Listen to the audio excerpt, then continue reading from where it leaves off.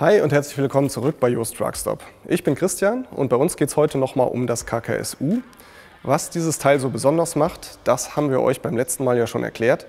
Heute geht es in die Praxis und wir zeigen euch, wie ihr euren Trailer auf das KKSU umrüstet, damit ihr ihn mit einem KKS-System benutzen könnt. Los geht's! Wie immer gilt Safety First. Beachtet unbedingt die Angaben in der zugehörigen Montage- und Betriebsanleitung.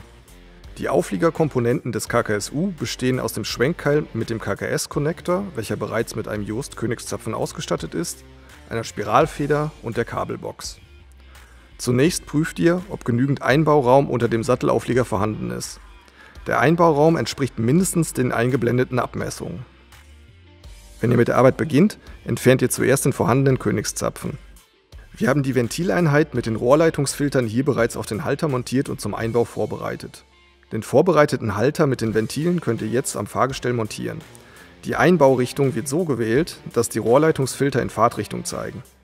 Die pneumatischen Versorgungsleitungen werden getrennt und an den Anschlüssen Eingang 1.1 und Ausgang 2.0 der jeweiligen Wegeventile angeschlossen.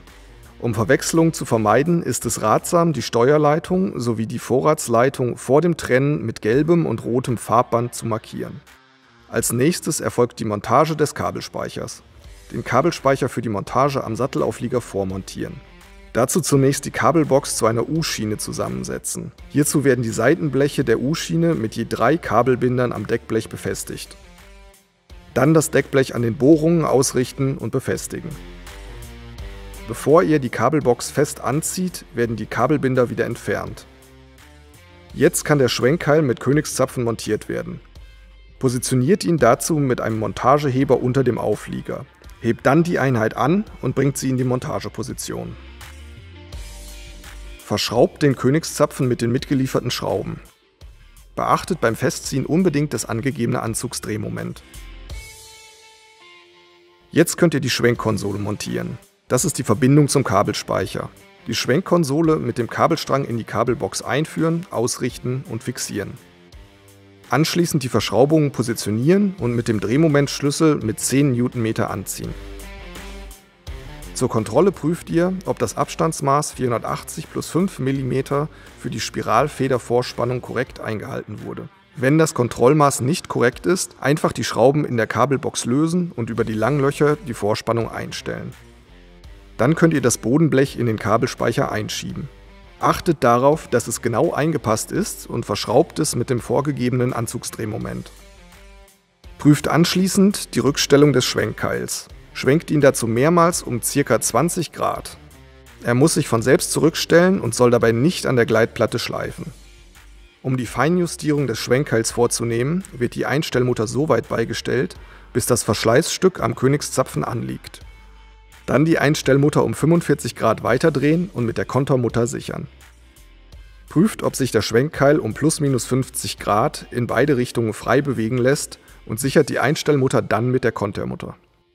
Um die Einstellung der 45 Grad sicher zu gewährleisten, wird eine Hilfsmarkierung empfohlen. Die Einstellung ist perfekt, wenn sich der Schwenkkeil um plus minus 50 Grad frei bewegen lässt. Jetzt werden die Pneumatikleitungen angeschlossen. Die markierte Vorrats- und Steuerleitung werden vom Schwenkkeil kommend Richtung Ventileinheit verlegt und an dem entsprechenden Rohrleitungsfilter angeschlossen. Bleibt noch die elektrischen Kabel vom Schwenkkeil kommend an die vorgesehenen Steckverbindungen anzuschließen. Die Modul eDrive-Stützwinden werden mit dem vorgesehenen Stecker einfach mit dem Kabelbaum verbunden. Abschließend werden die elektrischen Versorgungsleitungen Richtung Aufliegerstirnwand verlegt, die ISO-Stecker angeschlossen und mit den dafür vorgesehenen Steckdosen verbunden. Nach der Montage erfolgt noch ein Systemcheck mit der KKS-Sattelzugmaschine und eine Probefahrt. So, jetzt könnt ihr euren Trailer mit dem KKS-System benutzen und seid fit für die Zukunft. Dafür hielt sich der Aufwand doch wirklich in Grenzen, oder? Damit sind wir auch schon wieder am Ende unserer heutigen Folge angekommen. Wenn ihr noch mehr über das KKS und das KKSU wissen wollt, schaut auch gerne auf der Landingpage kks-futurenow.com vorbei.